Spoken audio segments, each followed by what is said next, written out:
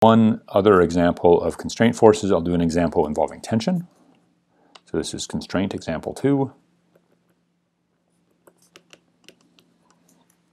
And I'll note my point with these constraint examples is not to actually calculate what the constraint is, but to sort of help you think think through how what the sort of signs of the constraints are going to be, how the constraints are going to behave.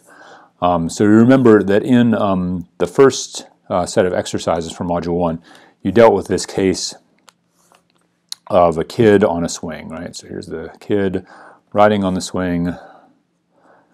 If only I were an artist and they're sort of swinging back and forth here. And the question that you were asked on the on that in-class exercise was to sort of, or on the that exercise was to think about what both the velocity and the acceleration was at these different points, right? So we, I think we thought about this point where the child is has a velocity that's relatively small and forward, this point where the velocity is relatively big and forward, and finally at this point where there's no um, no velocity at all. That sort of they've reached their maximum there. Okay? And we thought about accelerations in these cases as well. At this point, the the child is not has sort of reached a maximum velocity, so there's no parallel acceleration. All of the acceleration is normal to the to the motion. At this point, the kid is slowing down, but is also the also the velocity is turning. So the acceleration will both have a component that is radial and a component that's tangential, so the acceleration will look something like this. And finally, at this maximum of position, at that point there's no turning happening to the velocity. The velocity has just gone from pointing this way to changing sign, but not actually changing, um, not turning. And so at this point, the acceleration is going to be purely tangential. Okay? Now, if you think about now what the forces that are acting on this, this child? Well, one force that's acting is the rope is pulling on them. And another force that's acting is that gravity is pulling down.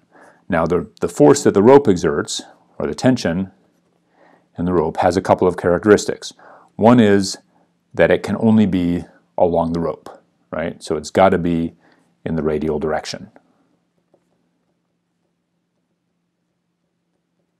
That is, you can pull on ropes, but you can't they don't they don't sustain any load um, on the side. They don't, don't they, they won't um, withstand any tangential load. Um, and the other thing is that the size of it is whatever is necessary